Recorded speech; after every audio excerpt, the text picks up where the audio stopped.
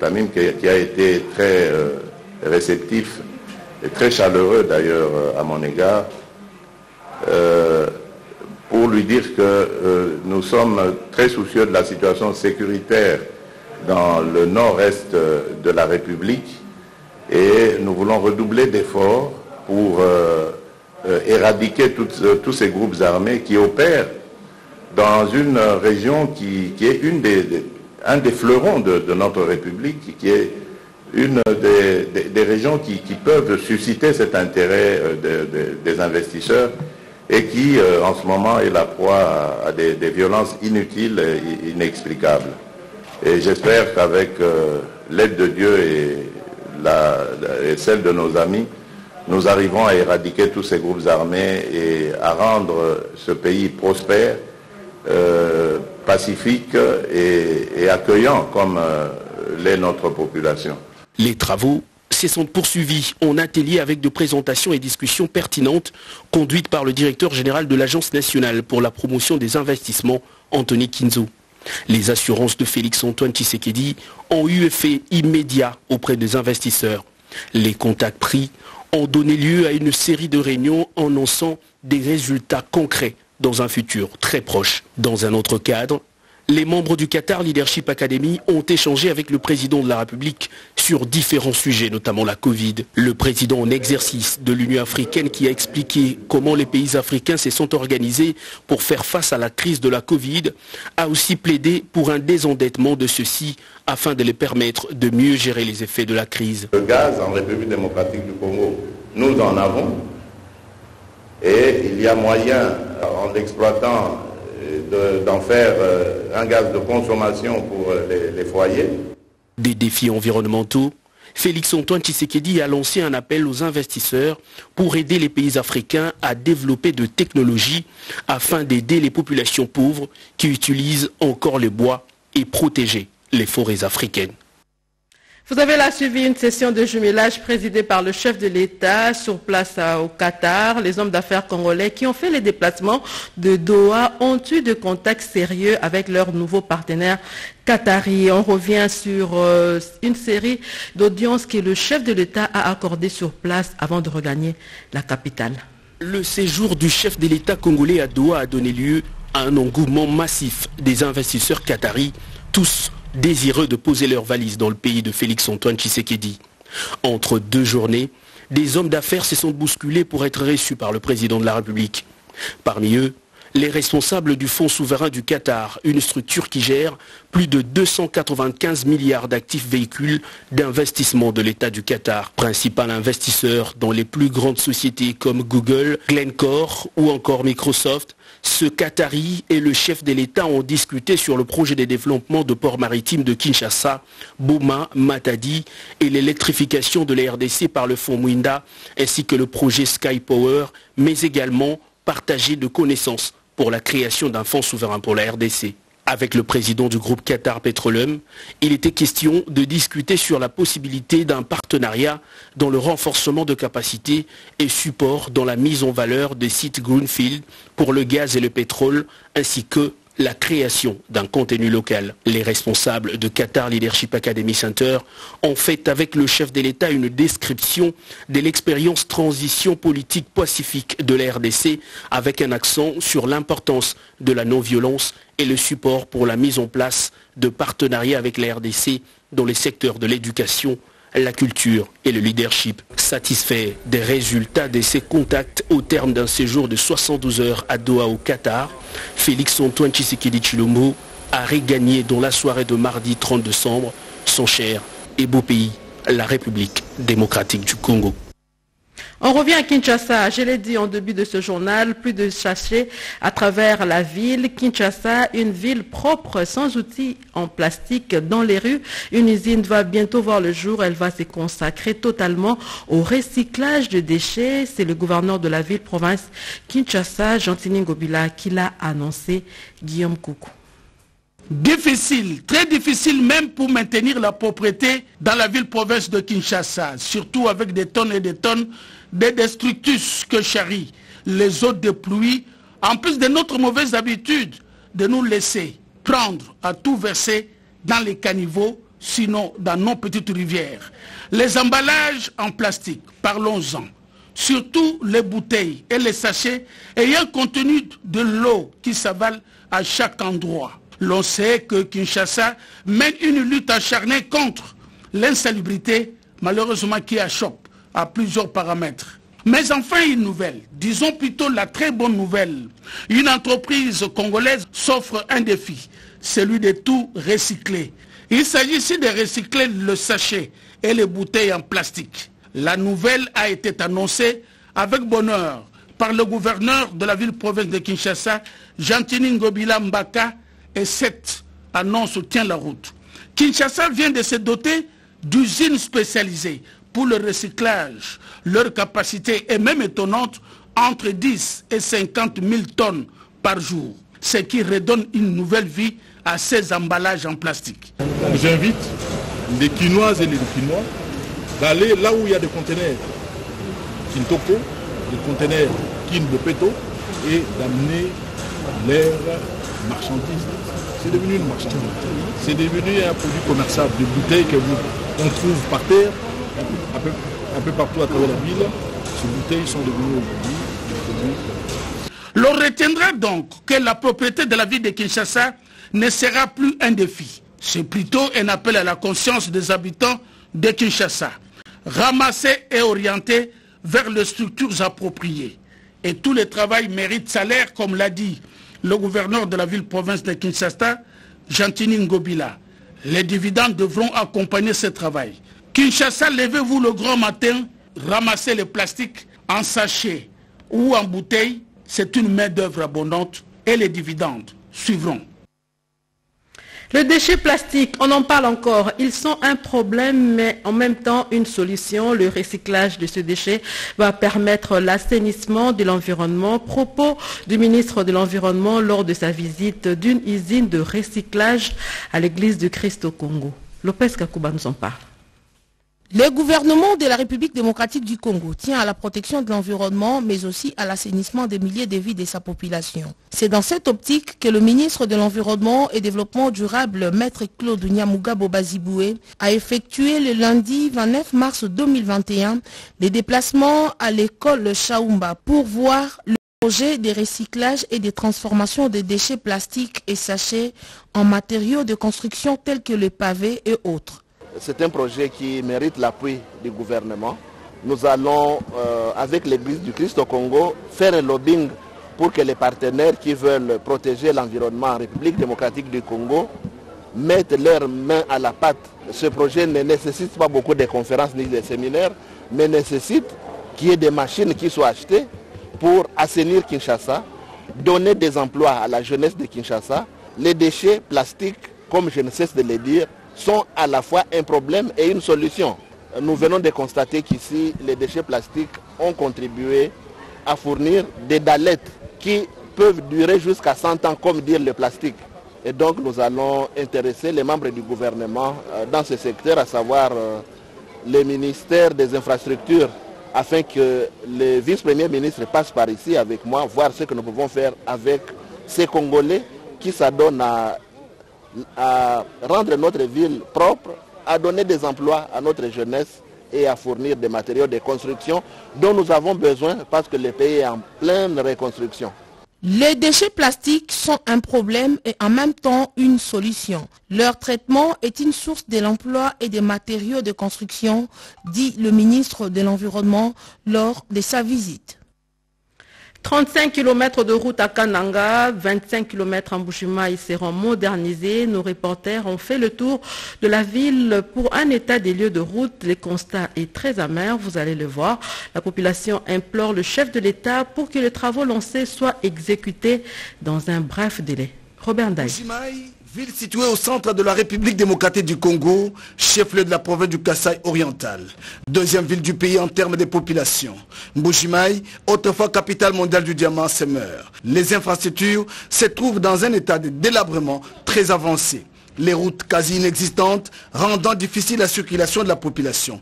Les dernières couches de bitume remontent depuis 1954. En Boujimaï, des questions de fond sont soulevées sur la politique du gouvernement provincial et national relative à l'entretien routier.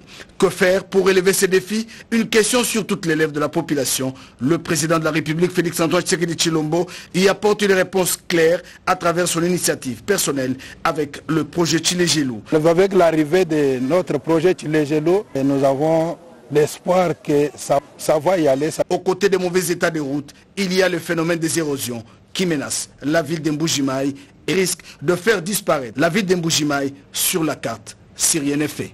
Quelques heures seulement après le lancement des travaux de modernisation et réhabilitation des routes, 25 km au total pour une durée de 36 mois, le directeur général adjoint de CREC7, Dr Stéphane Mondadi, a fait la ronde de la ville pour se faire une idée exacte de l'état de délabrement des routes périphériques. Une visite d'inspection sur les avenues ciblées sur les projets Chile-Gelou, notamment l'avenue Lusambo, avenue des Écoles, Odia David, avenue Chalamwana, Lumumba, Kassengulu, Kalamba le directeur général de grec fait un constat amer et rassure quant à la bonne exécution des travaux. Ce que nous faisons ici, à Kinshasa, on appelle ça des collecteurs. On fait des caniveaux plus grands, presque 1m70 sur 1m60, parce que le mouvement de l'eau est très important ici. Et puis collecter l'eau très loin pour que ça puisse aller jusque là où on doit les, évacuer. C'est pour cela qu'il n'y a plus de, route à Mboujimaï depuis le temps belge. Pour la population de Mboujimaï, c'est un ouf de soulagement. Et pendant ce temps, ici à Kinshasa, une dangereuse tête d'érosion nouvellement apparue à la suite des fortes pluies menace de couper l'avenue Mbouelou dans le quartier Matadi-Mayo du reste de la capitale, inquiet les populations de ces inquiets, les habitants de ce quartier plaident pour la construction de caniveaux afin de lutter contre cette érosion. Serge Mata nous en parle sommes au quartier Matadimayo, dans la commune de Mongafula. Ici, l'avenue Mbouela est en voie de disparition. En cause, une dangereuse tête d'érosion des sols s'est développée et créée, menaçant de couper ce coin du reste de la capitale. Il s'agit d'un ravin qui avance depuis plusieurs années à un rythme alarmant et de tomber des fortes pluies. La libre circulation des personnes et de leurs biens ainsi que des poteaux électriques sont en passe d'être emportés et compromises. Selon Kimbondo Pierre, l'un des habitants de l'avenue Mbouela, l'inexistence de la canalisation est à la base de ces processus de dégradation. Tout le monde à Foula est presque euh, dans une terre sablonneuse. Alors c'est ce qui a fait qu'une bonne quantité d'eau qui vient d'en haut, euh, la pente commence à partir de l'arrêt qu'on appelle carrière. Et toutes ces eaux-là arrivent juste vers les bas, juste là où nous sommes. Pour Kambamba, Benamaou, chef de la localité du quartier Matadimayo D, son office a déjà déposé un rapport quant à ceux aux autorités pour les venir en aide, avant d'indiquer qu'entre-temps, cette entité territoriale travaille avec des moyens du bord pour tenter de maîtriser l'évolution de ces trous béants. Depuis 2013, euh, c'est depuis 2013 que ces ravins a commencé. Nous sommes en train de souffrir ici. C'est comme si euh, vous nous avez oubliés. Nous demandons votre assistance, car c'est avec votre aide que nous allons réussir à limiter cette érosion, ses effets et ses conséquences. Je souhaite voir débuter les travaux d'élite anti-érosive. Ainsi, au-delà des grands travaux d'élite anti-érosive à réaliser sur ces sites, une sensibilisation s'avère donc nécessaire pour la protection de cet environnement dépourvu d'un système de canalisation des eaux des pluies. Et au ministère du Plan, l'atelier de renforcement de capacité de la plateforme de gestion de l'aide et des investissements a fermé ses portes. Hier, Élisée Minemboye a clôturé les travaux avant de réceptionner quelques matériels informatiques destinés à son ministère. Peggy Mukunda nous en parle.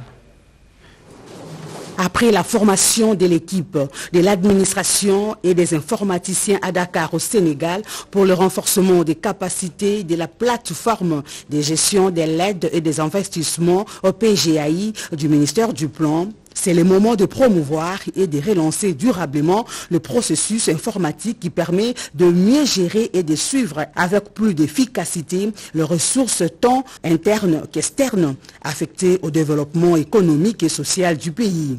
Pour garantir un accès continu, stable et durable. De cet outil, la PGAI vient de bénéficier des matériels informatiques, dont remis entre les mains du vice-premier ministre, ministre du Plan, Élisée Mounemboueta Mukumwe, par les bailleurs, je cite, l'agence du gouvernement coréen, COICA, et les programmes des Nations Unies pour le développement PNUD. A noter que bien avant euh, cette remise, plusieurs améliorations ont été réalisées, notamment la mise à jour du système, importation des données, la mise en place du tableau des bords pour le suivi intégré euh, du plan national des stratégies du développement, des ODD et des New Deal. Ajouter à cela les sites web du ministère du Plan. Permettez-moi de rappeler que la plateforme de gestion de l'aide et des investissements est l'outil du gouvernement pour capter les flux de l'aide au développement.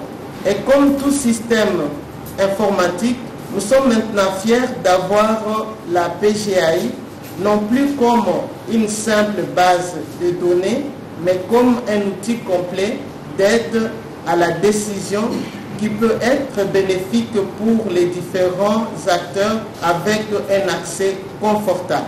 Fini avec les contraintes majeures qui bloquaient le fonctionnement de la PGAI, nous devions améliorer notre politique de gestion pour permettre à la PGAI de tracer toutes ces informations, a martelé Élisée Mounimbwe à l'Auguste Assemblée. Nous recevons sur ce plateau M. René Ngongo. Bonsoir M. René Ngongo. Vous êtes euh, rapporteur au Conseil économique et social de la République démocratique du Congo. La session d'avril s'ouvre demain. Bonsoir Madame. Effectivement, je viens confirmer l'ouverture de la session d'octobre, la session ordinaire qui s'ouvre demain.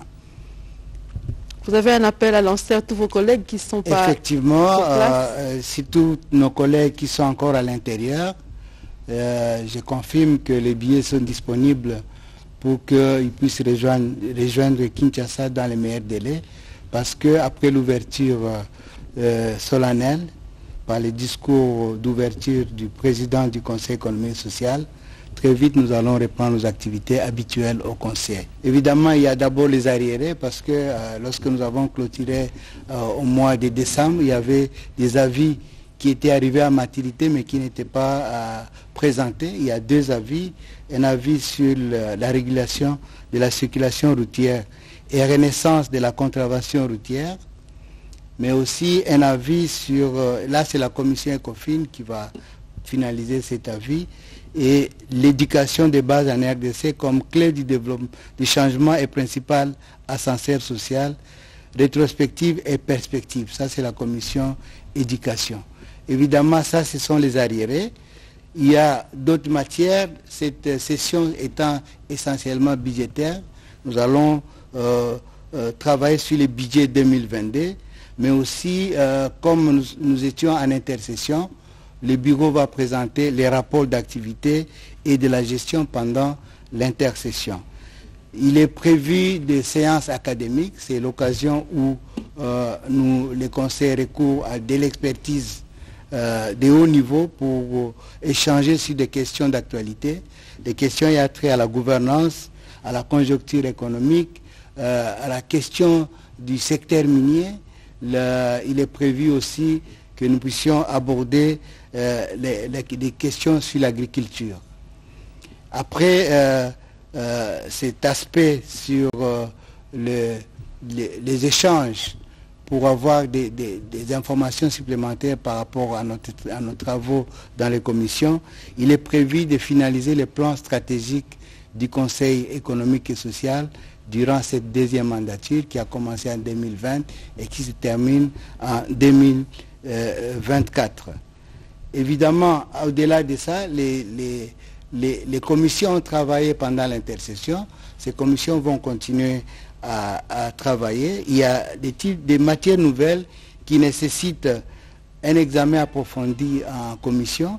Et la troisième catégorie, c'est des matières qui ont été abordées pendant les autres sessions qui seront finalisées durant cette session pendant les deux mois. Voilà globalement les types d'activités que nous allons euh, euh, faire pendant les deux mois euh, des sessions qui sont des mois intenses d'activité au sein du Conseil économique. Merci, monsieur le rapporteur. Nous rappelons que la session s'ouvre demain, mais ça sera dans la salle... Euh, la salle du spectacle au Palais, du Peuple. C'est à quelle heure? À partir de 10h et il est prévu la fin de la cérémonie à 12h. Voilà, Madame, Monsieur, merci d'être passé sur notre plateau. C'est moi qui vous remercie. Pour annoncer l'ouverture de cette session. Madame, Monsieur, nous rappelons que nous... Poursuivant ce journal, une centaine de Koulouna ont pris la direction de Kanyamaka CC aujourd'hui. C'est les commandants du service national, le général-major Jean-Pierre Kassongo et les commissaires provinciaux de la police nationale congolaise Silvano Kassongo qui les a accompagnés à l'aéroport international de Njili. Une quatrième vague constituée également des femmes. Oscar Mbal. Mise en place terminée au commissariat provincial de la police nationale congolaise ville de Kinshasa de Kuluna, visiblement satisfait.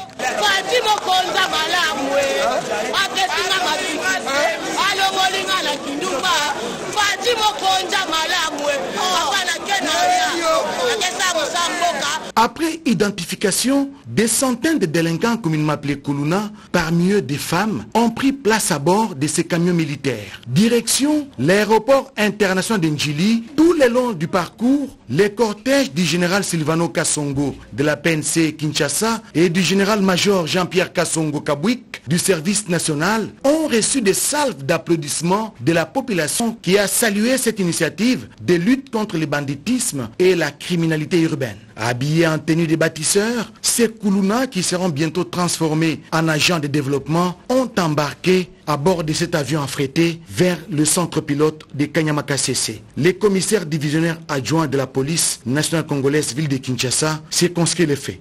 C'est les sentiments de satisfaction. Nous devons continuer. C'est la quatrième vague, il y aura la cinquième, la sixième. Nous avons l'appui du commandant suprême qui nous donne les moyens pour qu'on puisse les acheminer Faire des Koulouna des bons citoyens au service de la nation, en tout cas, c'est l'objectif poursuivi par cette vaste opération. Nous ne cesserons de le répéter. Ces jeunes gens ne vont pas en prison, mais ne vont pas aussi loger dans un hôtel à 5 étoiles. Ils vont subir un encadrement, une formation. N'étant pas un roi, comprenez qu'ils vont terminer leur formation, leur encadrement, ils vont être utiles à la société. Cette quatrième vague de transfertement des délinquants intervient deux jours après l'envoi de 300 autres Koulouna qui sont bien arrivés et installés à Kanyamakasisi. 500 mètres de câbles volés, les inciviques ont encore frappé la Société nationale d'électricité à Lubumbashi. Conséquence, plusieurs quartiers dans le noir, y compris l'université de Lubumbashi. Le directeur provincial de la SNEL déplore le dégât Edichala. La prison et les sites universitaires de Kassapa, les quartiers Gambela 1 et 2, régis des eaux pompages, sont dans le noir. La cause, 500 mètres de conducteurs en cuivre de la Société nationale d'électricité SNEL SA ont encore été cannibalisés. Un désastre qui commence à passer comme un fait banal. En plein centre-ville de Lubumbashi, des inciviques en bande organisée opèrent en toute tranquillité et quasi quotidiennement il y a lieu de penser à des complicités dans les milieux de ceux qui doivent sécuriser ces infrastructures. Six pylônes se sont effondrés du numéro 59 au numéro 64 des suites du vol dans la nuit du 29 au 30 mars. Les autorités politico-administratives du Haut-Katanga, en commençant par le gouverneur, ont beaucoup de priorités, mais le vol répété des câbles SNEL semble sorti de leur agenda. Sans électricité, le développement est impossible, et ça tout le monde le sait. Nous avons vécu euh, le vol de conducteurs de cuivre depuis la nuit d'hier. Donc c'est des choses que la SNEL déplore. Puisque ces actes d'incivisme non seulement se répercutent sur euh, les recettes de la SNEL, mais aussi sur euh, l'économie du pays et le développement et le bonheur de tout le monde.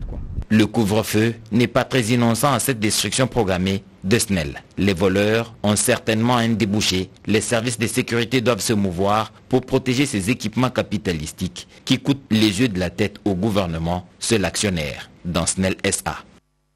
Le directeur général adjoint de LMC a séjourné pendant 22 jours dans la province du Congo central pour s'imprégner de l'état de l'armement national dans ce coin du pays. Chimène Dondo nous en parle.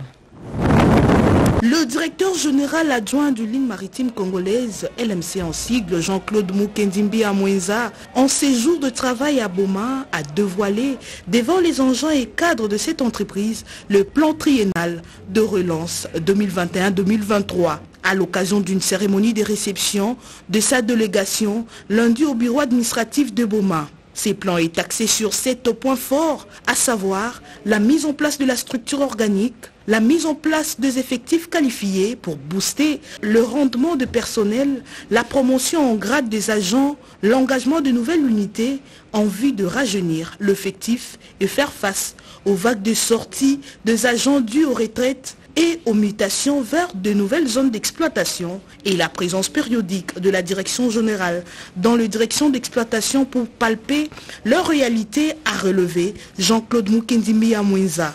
Il consiste ensuite à faire de la Lune maritime congolaise un transporteur maritime multimodal et régional au service de la RDC. Toujours dans le cadre de cette relance, LMC va lancer quatre nouvelles lignes avant de confirmer que l'LMC attend d'être doté par le gouvernement congolais grâce à l'impulsion du chef de l'État, Félix-Antoine Tshisekedi Chilombo, d'un navire en propre afin de desservir la République démocratique du Congo et marquer sa présence effective sur la flotte. Jean-Claude Mukendi Amouenza a, après avoir remercié le chef de l'État, Félix-Antoine Tshisekedi Chilombo, pour sa détermination de relance des entreprises publiques, exhorté les agents et cadres de cette entreprise à appuyer les efforts de leur direction générale par un travail responsable afin de rendre effectifs ces plans de relance, car, a-t-il reconnu, seul on ne peut relever ces défis. On reste dans le Congo central, un accord de collaboration qui porte essentiellement sur le dragage du bief maritime entre les villes de Matadi et de Boma vient d'être signé. La Congolaise des voies maritimes et la Fédération des entreprises du Congo ont signé cet accord de partenariat pour matérialiser ce projet. Plus de détails avec Cédric Kenina. Améliorer la navigabilité dans les biefs maritimes du fleuve Congo dans l'idée hautement sociale de permettre aux navires de haute mer de desservir en toute sécurité les ports maritimes de Boma et de Matadi, c'est le but poursuivi par ces contrats de collaboration entre la Congolaise de voies maritimes et la Fédération des entreprises du Congo. Dans la pratique, les modalités de collaboration reposent sur deux axes l'appui à l'exécution des travaux de dragage, l'acquisition d'une drague neuve ainsi que des équipements connexes. Les deux parties ont été représentées pour la FEC par l'administrateur délégué Kimona Bonongue et la CEVEM par Madame le directeur général. C'est que cette drague fonctionne bien et à tout moment, qu'il n'y ait pas manque de moyens, manque de pièces de rechange, manque de carburant, mais qui est in fine l'achat d'une deuxième drague pour permettre à la CVM de faire correctement son travail. Ici, nous parlons de, vous avez dit, une question fondamentale. Si on ne le fait pas, le bief maritime congolais va être bouché par le sable et aucun bateau, peut-être les pirogues pourront encore entrer, mais les bateaux, le gros navire, ne pourront plus rentrer sur Matadi. Aujourd'hui, nous venons de signer euh, un accord qui va assurer à l'entreprise des recettes supplémentaires pour pouvoir lui permettre donc de continuer à assurer sa mission au moindre coût pour l'économie du pays. Un contrat de collaboration qui fait suite à la demande du Premier ministre qui entend faire de la CEVEM un outil économique au bénéfice de la communauté, et cela à travers un partenariat public-privé avec la Fédération des entreprises du Congo FEC. On parle de la clôture du mois de mars, euh, mois dédié aux revendications de droits de la femme. Les femmes de l'Agence congolaise de l'environnement ont clôturé le mois de mars par une conférence débat, une occasion pour elles d'échanger sur leur rapport dans le combat pour le positionnement des femmes en famille et en milieu professionnel. Reportage. Le mois de mars, mois consacré aux droits de la femme, touche à sa fin. Il aura été un mois mobilisateur pour les femmes du monde entier qui se sont retrouvées en atelier, en conférence pour réfléchir sur leur situation. En République démocratique du Congo, on notera également plusieurs activités qui ont mis autour des tables les femmes de toutes les couches sociales. En ce 31 mars, dernier jour du mois de la femme, les femmes de l'Agence congolaise de l'environnement ont tenu une conférence débat autour du thème choisi cette année leadership féminin pour un futur égalitaire dans le monde de la Covid-19. Elles ont également échangé sur leur apport dans ce combat pour le positionnement des femmes en famille comme en milieu professionnel. L'Agence congolaise de l'environnement, au travers de la direction générale, sensibilise par ces femmes que euh, la maladie à Covid-19 est une maladie qui tue, raison pour laquelle nous qui sommes environnementalistes, nous avons des mesures à prendre euh, d'une manière générale d'abord des gestes barrières qui sont prônés par le chef de l'État, mais aussi en tant que femme environnementaliste, nous avons de mesures que nous devons respecter et faire respecter pour l'éradication de cette maladie. Dans ce contexte dominé par la Covid-19, ces femmes estiment avoir donné le meilleur d'elles-mêmes et proposent la même chose à leur père. 7000 tonnes de maïs seront bientôt récoltées. Les femmes agronomes ont cultivé les maïs blancs sur une superficie de 1500 hectares malgré les manques criants des pièces de rechange des tracteurs, manque d'accessoires. Les programmes agricoles d'urgence d'intervention post-Covid a gardé le cap. Sandra Nyangé Charmant Lelo, c'est un reportage.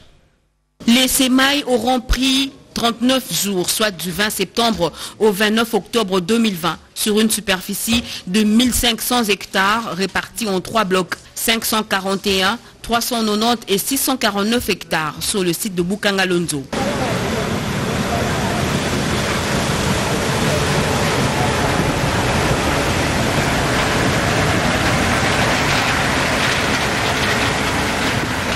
Pour cette saison expérimentale, le maïs variété SC319 ou maïs blanc a été ensémencé. Les difficultés dues au manque d'accessoires, de pièces de réchange des tracteurs et transport d'agronomes pour les champs n'ont pas entamé la détermination des équipes du programme agricole d'urgence et d'intervention post-Covid-19. En ce mois de mars, c'est encore une preuve éloquente de la compétitivité de la femme dans tous les domaines de la vie nationale. Des agronomes femmes qui permettent à ces jours d'attendre de ces champs près de 7000 tonnes de maïs. Que les chefs de l'État viennent récolter le maïs à Bukangalonzo, qu'ils voient ce qui se passe ici à Bukangalonzo. Le dommage causé par le retard du financement au moment de ces mailles devrait à tout prix être évité en ce moment de moisson. C'est un cri de cœur de la coordinatrice adjointe en charge de l'exploitation et de production du programme. Nous plaidons à ce que le chef de l'État, Félix-Antoine Tshisekedi, et le chef du gouvernement, qui puissent en tout cas nous soutenir et nous donner la main forte. Et vous voyez le résultat aujourd'hui. Maintenant, nous sommes en plein récolte. Et nous demandons à ce que le ministre de l'Agriculture, qui nous a toujours soutenus, d'avoir encore beaucoup de regards à notre égard, afin que nous puissions continuer notre travail jusqu'à la transformation et à la vente de tout ce que nous produisons. Si la volonté y a, la possibilité de garantir la sécurité alimentaire au peuple congolais n'est pas un mirage. Elles sont venues de plusieurs juridictions de la capitale. Les femmes magistrats ont clôturé sur une note très satisfaisante le mois dédié à la femme. Plus de détails, Cédric Kenina.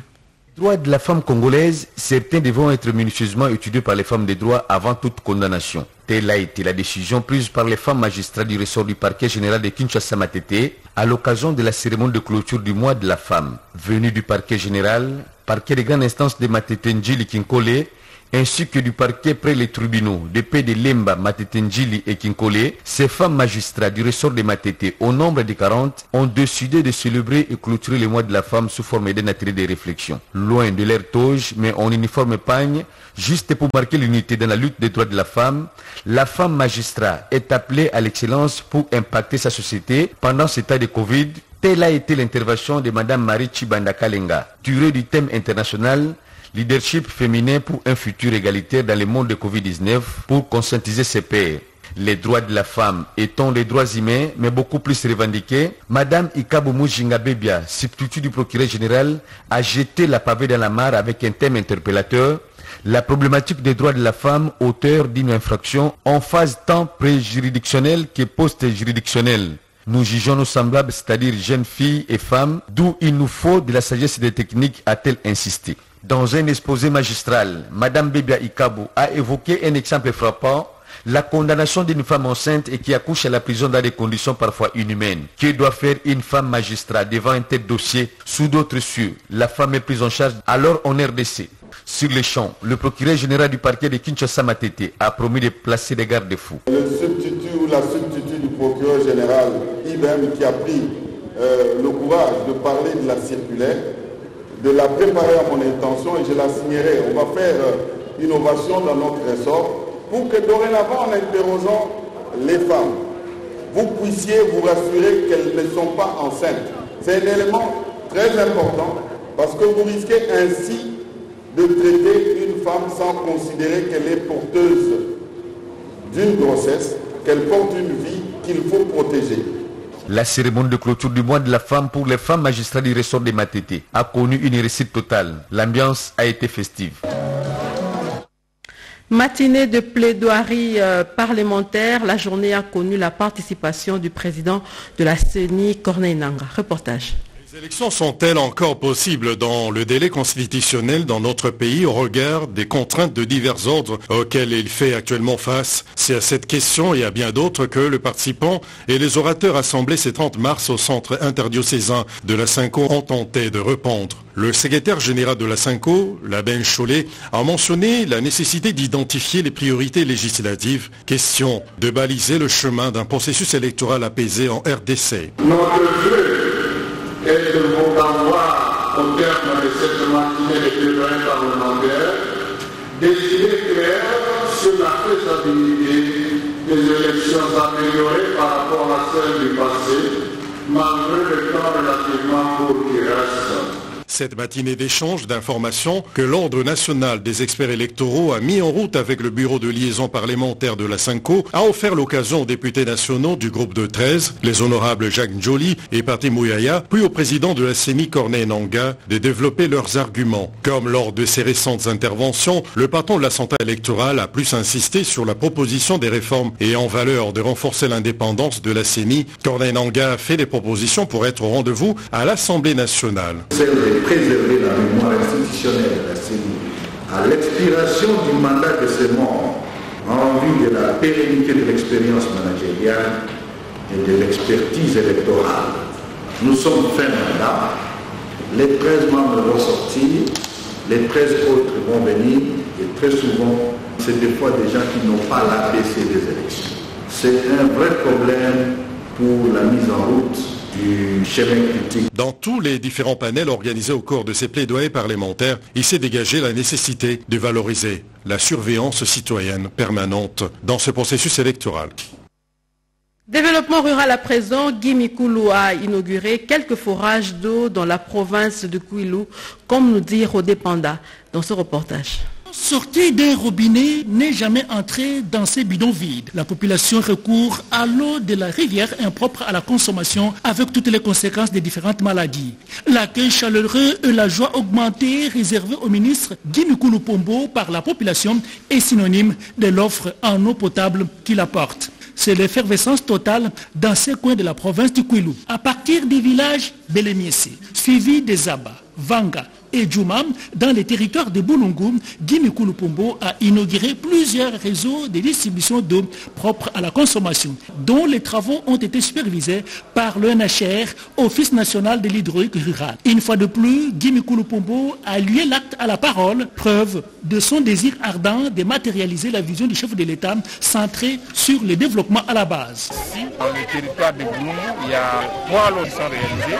C'est le premier lot, c'est celui-ci, où on a fait euh, plus de 3000, une, addiction d'eau avec plus de 3000 mètres de refoulement et un réseau de plus ou moins 900 mètres pour distribuer de l'eau dans, euh, la commune rurale de Djouma.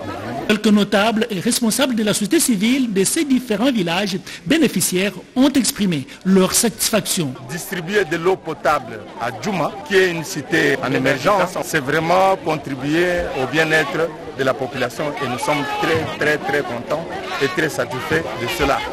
Même si nous devons dire que ça ne suffit pas encore, ce que le ministre a fait est beaucoup, mais nous devrons continuer pour que toute la population soit alimentée en eau potable. Certes, le gouvernement est démissionnaire, mais les Congolais, eux, ne démissionnent jamais. Sous l'arbre, ils attendent toujours.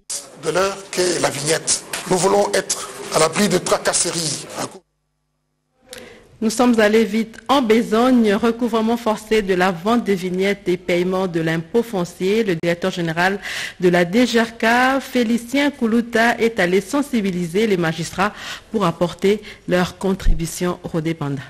Congolais est un contribuable censé payer son impôt foncier ou la taxe sur véhicules et autres. En campagne de sensibilisation pour le paiement des impôts et taxes, le directeur général de la DGRK, Félicien Koulouta, s'est rendu au parquet général de la Cour de cassation pour appeler les magistrats, hommes de loi et des droits, de s'acquitter de cette obligation civique. Nous, magistrats du parquet général de la Cour de cassation, nous avons pris l'engagement de nous acquitter des obligations fiscales, en l'occurrence le paiement de la de l'heure qu'est la vignette. Nous voulons être à l'abri de tracasseries à cours de route par les agents placés dans des coins et recoins de la ville de Kinshasa. Nous voulons être des citoyens modèles.